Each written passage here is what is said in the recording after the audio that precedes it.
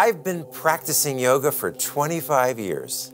My favorite is vinyasa, where you move from one pose to the next, focusing on your breathing, and you find yourself in a state of meditation.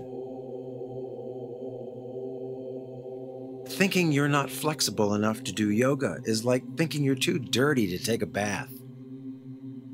There are a lot of people who are really good at it, and you can go to the classes and see them doing the postures, and they look really great.